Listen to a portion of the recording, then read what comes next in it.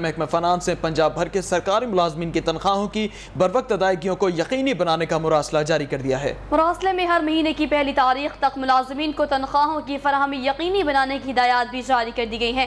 اہم خبر ہے، جو آپ تک پہنچا رہے ہیں، آپ کو ایک بار پھر سے اپڈیٹ کریں کہ محکمہ فنانس نے پنجاب بھر کے سرکاری ملازمین کی تنخواہوں کی بروقت ادائیگیوں کو یقینی بنانے کا مراسلہ جاری کر دیا ہے۔ آپ کو مزید بتائیں کہ مراسلے میں ہر مہینے کی پہلی تاریخ تک ملازمین کو تنخواہوں کی فراہمی یقینی بنانے کی ہدایات جاری کر دی گئی ہیں۔ اہم مراسلے کے حوالے سے اپڈیٹ کرتے چلیں آپ کو پتہ ہے محکمہ فنانس نے پنجاب بھر کے سرکاری ملازمین کی تنخواہوں کی بروقت ادائیگیوں کو یقینی بنانے کا مراسلہ جاری کر دیا ہے۔ اس حوالے سے مزید تفصیلات جانتے ہیں نمائندہ لاہورنگ کاشف بھٹی سے۔ جی کاشف اس مراسلے کے حوالے سے آگاہ کیجیے۔ جی محکمہ فنانس پنجاب نے ایڈیٹر جنرل کو تمام محکموں کے سرکاری ملازمین کی تنخواہوں کی بروقت ادائیگیاں یقینی بنانے کے لیے مراسلہ جاری کر دیا ہے۔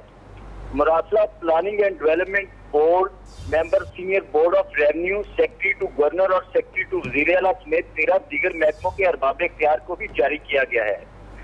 اس میں کہا گیا ہے کہ سرکاری ملازمین کی تنخواہیں بر وقت ادا کی جائیں جبکہ پنجاب کے تمام محکموں کے خزانچیوں اور ضلعی ضلعی اکاؤنٹ آپ کی اسران کو بھی مراسلے میں ہر ماہ کی پہلی تاریخ تک تنخواہیں دینے کا پابند کیا گیا ہے۔ اور یہ مراسلہ سپریم کورٹ کے case women rights one six nine eight five G two thousand eighteen کے فیصلے کی روشنی میں کیا گیا ہے؟ جی۔ بہت شکریہ کاشف بھٹی تفصیلات سے آگاہ کرنے کے لیے۔